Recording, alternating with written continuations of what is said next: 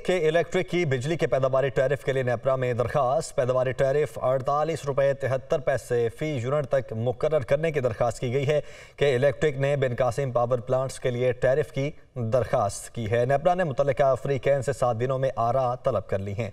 जीशान यूसुफ से इस हवाले से हमारे साथ मौजूद हैं। जीशान बताएगा क्या डिटेल्स हैं इसकी?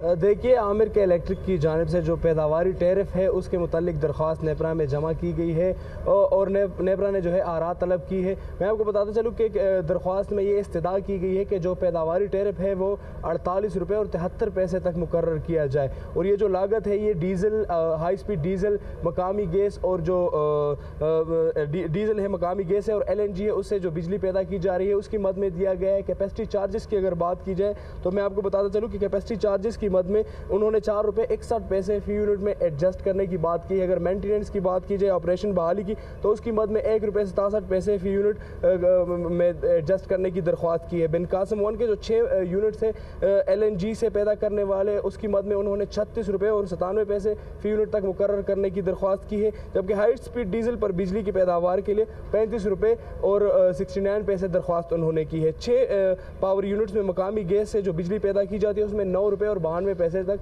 जो है दरख्वास्त की है। ताहम जो नेपरा है उन्होंने जो आरा आरा तलब की है और सात दिनों में नोटिस जारी किए कि सात दिनों में आगाह किया जाए। इस पर जो है एक समात होगी नेपरा में। उसके बाद फैसला किया जाएगा और जब ये फैसला होगा तो उसके बाद ये प्राइस एक बास्केट में आएगी और फिर वो सारे सारिफिन पर उसका जो बोझ है वो चला जाएगा। जी। उसके बाद सारिफिन पर इसका बोझ पड़ेगा। जिशान बहुत शुक्रिया आपका।